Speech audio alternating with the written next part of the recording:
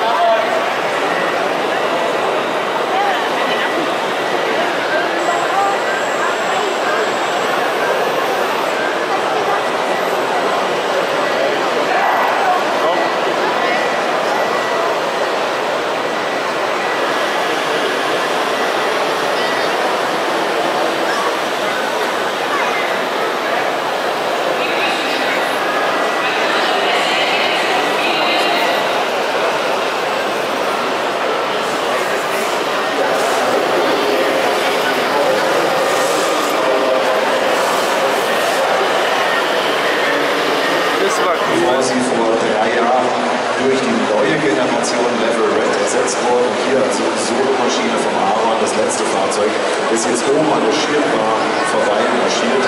Also das Neueste vom Neuesten. Und insofern unsere Parade, ja, nicht ganz viele Jahre, 35 Jahre Pistenfahrzeuggeschichte. Wir sind im 170er Pistenbully aus den späten 70er und Anfang der 80er Jahre ab. Da gab es auch noch keine Fräse hin, sondern nur ein Brett, was man hinterher gezogen hat. Wunderschön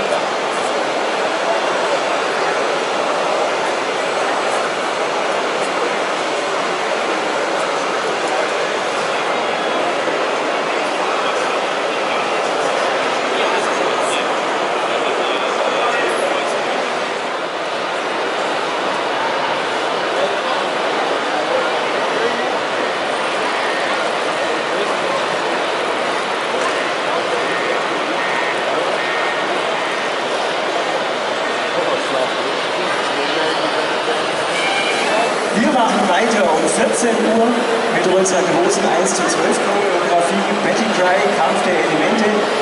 Wir machen wieder ein bisschen Comedy. Wir bereiten uns vor auf unsere Nachtshow um 17 Uhr.